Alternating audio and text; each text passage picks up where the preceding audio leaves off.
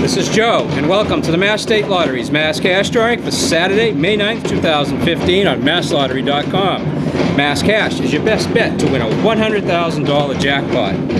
And now, let's see how you did in tonight's drawing.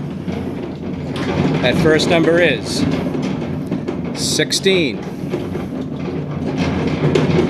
Next is 14. Followed by 13. If you've matched these three numbers, you've already won a prize. Here comes 31. And finally, 17.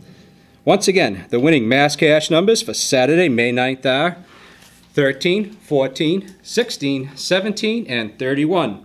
Remember to log on to masslottery.com to watch all of the Mass State Lottery's drawings.